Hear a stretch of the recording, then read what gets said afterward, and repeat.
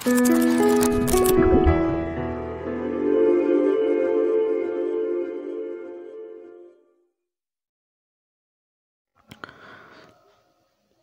so guys आज इस video में मैं शिवरात्रि के ऊपर ड्रॉ करने वाला हूँ। तो मैं एक छोटा सा सीन ड्रॉ करूँगा, शिवलिंग और वाटरफॉल के साथ, एक साथ मैं एक सीनरी ड्रॉ करूँगा। तो वीडियो को पूरा देखो स्किप मत करो। आई होप कि आप लोगों को वीडियो पसंद आएगा, आप लोग कुछ सीख पाओगे। तो चलो ड्राइंग को करना स्टार्ट करते हैं।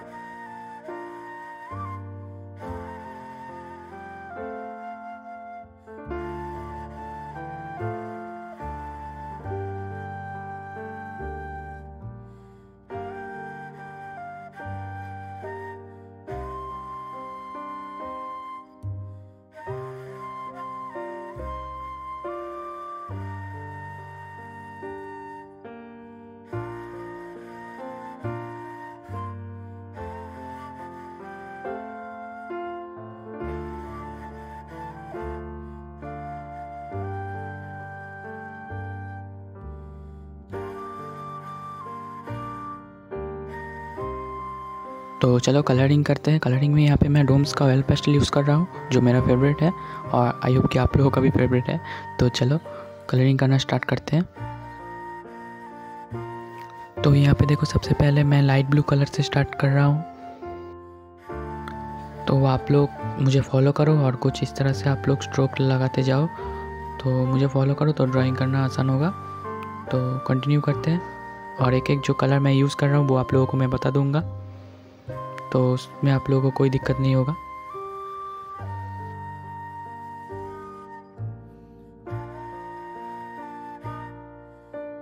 तो फ़र्स्ट जो लाइट ब्लू है, उसको देने के बाद मैं यहाँ पे अल्ट्रामारीन ब्लू का यूज़ कर रहा हूँ।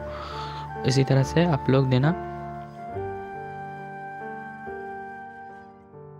तो सेकेंड जो अल्ट्रामारीन ब्लू मैंने दिया था, उसके ऊपर अब मैं यहाँ पे प्रूशियन ब्लू कलर यूज़ कर रहा हूँ, थोड़ा डार्क पोर्सन को क्रिएट करने के लिए।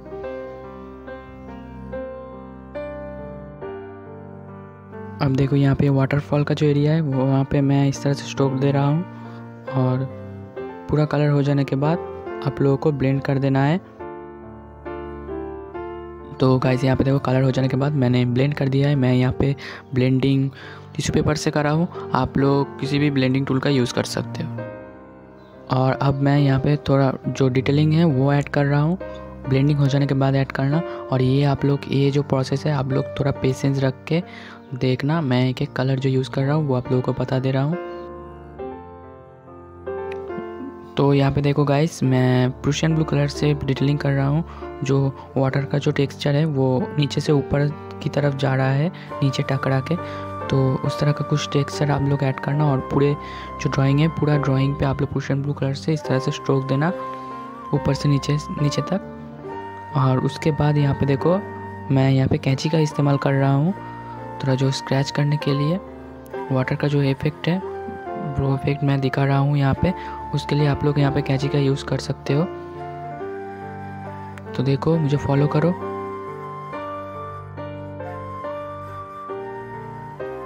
तो अब मैं देखो यहाँ पे ब्लैक कलर से थोड़ा बहुत डिटेलिंग करूँगा।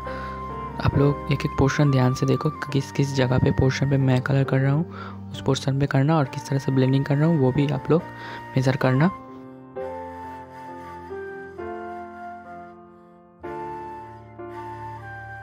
कलर हो जाने के बाद आप लोगों को इजीली ब्लेंड कर देना है।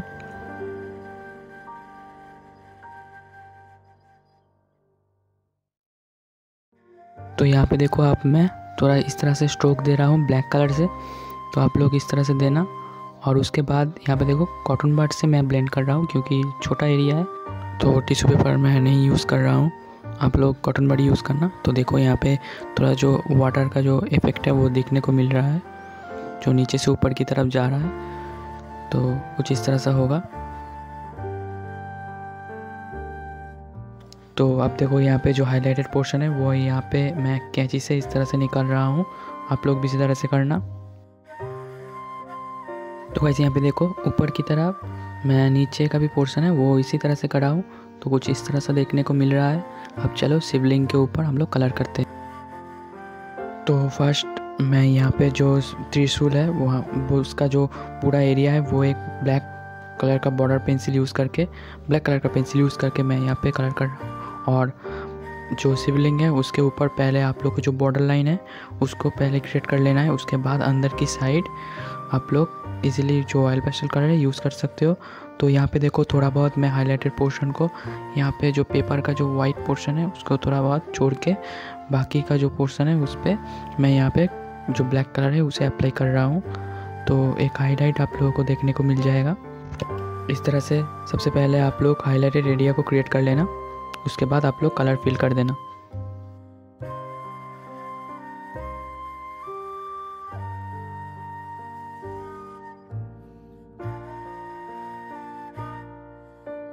सो so गाइस आप लोग यहाँ पे देखो, मैं थोड़ा बहुत हाईलाइट क्रिएट कर रहा हूँ, जो त्रिशूल और शिवलिंग के पीछे मैं जो दिखा रहा हूँ, ये मैं यहाँ पे कैंची से कर रहा हूँ। आप लोग भी करना इस तरह से। और यहाँ पे देखो, किस तरह से मैं क्रिएट कर रहा हूँ, और एंड रिज़ल्ट आप लोग आप लोग देखना कैसा लग रहा है। तो चलो, जो स्क्रैचिंग प्रोसेस है, वो हम लोग कंप्लीट कर लेते हैं।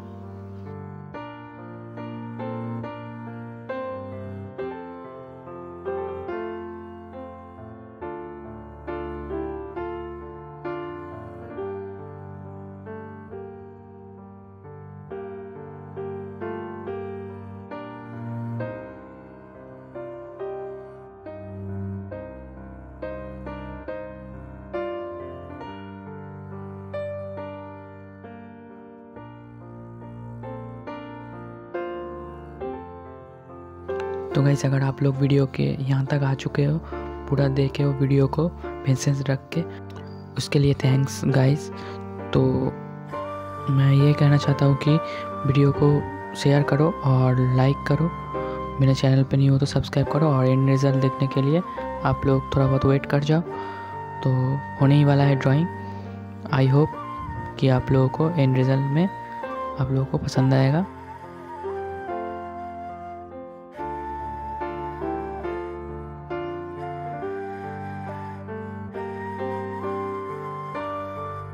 सो गाइज़ ड्राइंग आप लोगों को कैसा लगा मुझे कमेंट से जाके बता देना। और आप लोग समझ ही चुके हो कि मैं आउट्रो जो पिक्चर का आउट्रो है, जो ड्राइंग का, वो रिकॉर्ड करना भूल गया।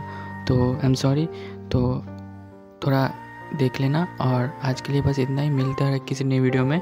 Till and take care and bye bye और हाँ हाँ गाइज़ मैं भूल गया। लाइक शेयर भी करते जाना। और चैनल पर नहीं हो तो सब्सक्राइब भी कर देना। तो बाय बाय